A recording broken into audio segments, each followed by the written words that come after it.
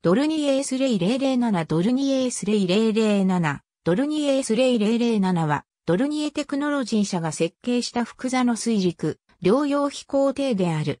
S レイ007のコンセプトは1920年代のドルニエリベレ機に由来し、もともとはドルニエリベレという名称も引き継いでいたが後にドルニエスティングレイに改称された。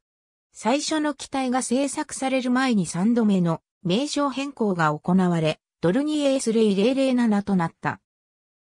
このプロジェクトを率いているのは、クラウディウス・ドルニエの孫で、ドルニエテクノロジー社のオーナーのイーレン・ドルニエである。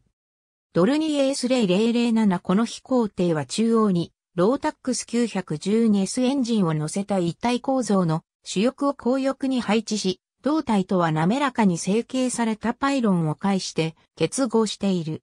S レイ007は炭素繊維で補強された強化プラスチック素材を使用して製作されており、これにより機体は海水による腐食に対し高い対抗性能を有している。引き込み式の膠着装置と容量 50L の燃料タンクを備えている。S レイ007の初飛行は2007年7月14日にゲルハルト・タルハマーの操縦でフリードリヒスハーフェン空港で行われた。ありがとうございます。